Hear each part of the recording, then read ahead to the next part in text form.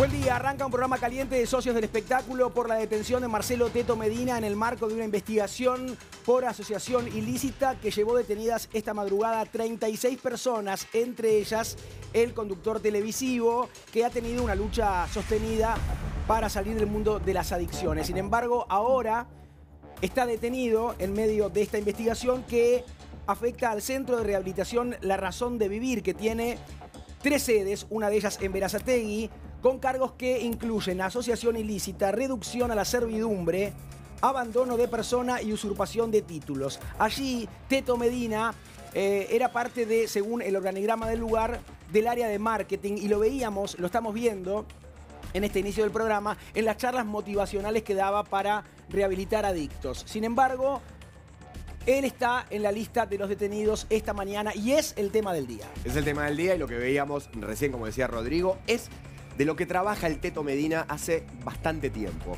Hemos estado hablando con gente de su familia, en minutos vas a saber la palabra de, su hija, que habló con nuestra compañera Luli Fernández. El Teto trabaja de esto, trabaja de charlas, se recibió, eh, da consejos, acompaña a gente en las adicciones. En el medio de todo esto, una denuncia, gente detenida, reducción a la servidumbre, a la esclavitud, eh, se habla de algo tipo secta. En el medio también familias desesperadas porque estos centros de atención sean cerrados, sean trasladados. La verdad que un gran escándalo que involucra a uno de los hombres más famosos del mundo del espectáculo de la década del 90 por lo menos. Un tipo que ha pasado, la verdad que ha sido mano derecha de grandes conductores de la televisión, ha sido también una figura per se y desde hace un tiempo está alejado de los medios y se dedica a lo que acabamos de ver. Lo concreto es que el Teto Medina está detenido con una causa que lo puede llegar a tener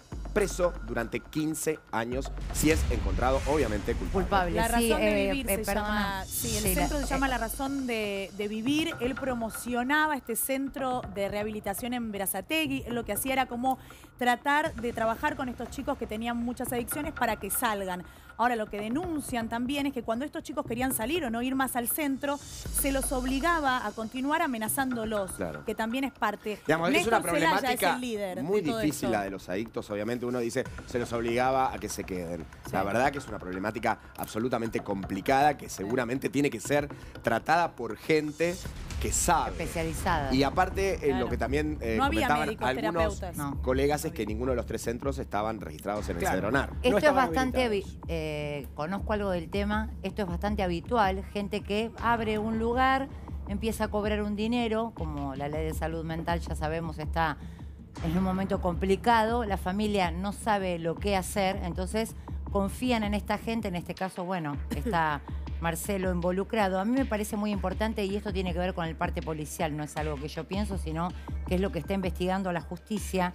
Dice, la pesquisa surgió que los internos sufrían controles y castigos privativos de la libertad en caso de mala conducta, como también cuando manifestaban deseos de irse del lugar, como bien decían ustedes, o abandonar el tratamiento, siendo que para estas circunstancias eran engañados por parte de los directores del lugar, los coordinadores y cómplices, quienes se hacían pasar telefónicamente por policías, fiscales o mm. jueces, haciéndoles creer que en caso de abandonar el lugar iban a enfrentar cargos o causas penales pudiendo quedar detenidos en la cárcel. Digamos que esta causa eh, lleva